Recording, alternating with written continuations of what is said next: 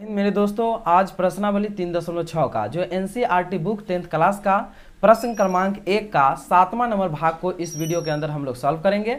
यदि आपको वीडियो अच्छा लगे तो एक लाइक करेंगे और चैनल को सब्सक्राइब कर लेंगे। तो आइए देखते हैं क्या प्रश्न कह रहा है कि निम्न समीकरणों के युग्मों को रैखिक समीकरणों के युग्म में बदल करके हल कीजिए। ठीक है, इसे क्या करना है? रैखिक समीकरणों के युग में इसे बदल करके हमको हल करना है। तो देखिए, इस प्रश्न को हम कैसे हम लोग हल करते हैं। तो यहाँ क्या है प्रश्न कि एक बटा दस, एक सॉरी दस बटा एक्स प्लस वाई बराबर दो बटे एक्स माइनस वाई बराबर चार है। ठीक है? अब इसे क्या करना है हमको कि यहाँ ऐसे हम लिख सकते हैं इसको। क्या लिखेंगे? दस और कोष्ट में एक बटे एक्स प्लस वाई ठीक है? फिर प्लस इसको लिख सकते हैं दो कोष्ट में एक बटे एक्स माइनस वाई बराबर चार, जो समीकरण एक। हम इसे इस तरह से लिख सकते हैं, ठीक है? क्योंकि दस में एक से गुना करेंगे तो दस से होगा। इस तरह से लिख सकते हैं। फिर ये दूसरा समीकरण है, इसको भी लिख सकते हैं क्या? पंद्रह कोष्ट में ऐसे एक बटे एक्स प्लस वाई और फिर माइनस पाँच कोष्ट में एक बटे एक एक्स माइनस वाई बराबर क्या? माइनस दो। ये समीकरण टू हम ऐसे लिख सकते हैं इसको। अब ऐसे लिखने के बाद क्या करेंगे? हम यहाँ पर ये दोनों समीकरण में देख रहे हैं क्या? कि एक बटे एक्स प्लस वाई एक बटे एक्स प्लस वाई है। फिर एक बटे एक्स माइनस वाई एक बटे एक्स माइनस वाई यहाँ हम देख रहे हैं दोनों सेम सेम है। तो यहाँ क्या कर लेते हैं? मान लेते हैं। क्या लिखेंगे? मान, माना कि, ठीक है, इसको मान लेते हैं। एक बटे एक्स प्लस वाई बराबर हम इसको क्या मान लेते हैं? यू और एक बटे एक्स माइनस वाई बराबर क्या? भी। इसको हम मान लिए। जब यहाँ पर मान लेंगे, तब क्या लिखेंगे हम यहाँ? देखिए, दस यू लिखेंगे। क्या लिखेंगे? दस यू प्लस टू भी बराबर फोर जो समीकरण क्या हो जाएगा? एक हो जाएगा। फिर यहाँ पर क्या लिखेंगे? पंद्रह यू माइनस पाँच भी बराबर क्या? माइनस दो। समीकरण क्या हो जाएगा? यहाँ पर टू हो जाएगा। अब जब इतना हो गया हमको तो अब क्या करना है हमें?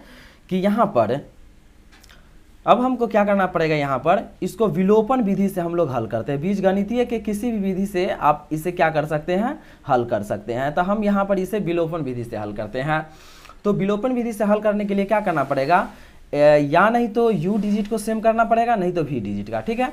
तो इसे क्या कर लेते हैं हम कि समीकरण एक में देखेंगे, u से पहले क्या है? दस दिया हुआ है। तो ये समीकरण टू में इससे दस से गुना कर लेंगे। और समीकरण टू में जो यू से पहले जो दिया हुआ है, पंद्रह दिया हुआ है तो इसमें एक में गुना कर लेंगे। ठीक है? अब यहाँ देखेंगे गुना करेंगे तो तो लिखेंगे क्या? समीकरण एक गुने पंद्रह और दो गुने दस से गुना करने पर गुना करने पर ठीक है? इसको गुना करने पर। तो अब हम क्या करेंगे? दस में पंद्रह से गुना करेंगे, पंद्रह दाही एक सौ पचास, यू प्लस। पंद्रह उन्ना तीस भी बराबर पंद्रह चौका साठ। फिर क्या होगा? एक सौ पचास यू माइनस। दस पर से पचास भी बराबर माइनस क्या होगा? यहाँ बीस। गुना करेंगे। तो अब इसे हम क्या करेंगे? यहाँ पर लिखेंगे घटाने पर। क्या लिखना पड़ेगा? घटाने पर। अब घटाने में क्या करना पड़ेगा? चीन को चेंज करना पड़ेगा। यहाँ प्लस है तो माइनस हो जाएगा। यहाँ माइनस तो यहाँ प्लस यहाँ माइनस तो यहाँ प्लस हो जाएगा। ठीक है? अब क्या करेंगे हम? इसे ये कट हो गया। अब देखिए, तीस भी है और प्लस पचास भी। देखिए हुआ अस्सी भी। बराबर साठ, यहाँ बीस। तो ये भी अस्सी हो जाएगा। भी बराबर क्या होगा? अस्सी और बट्टे अस्सी। ये कट जाएगा कितना? एक मरतबे तो भी बराबर क्या आ गया?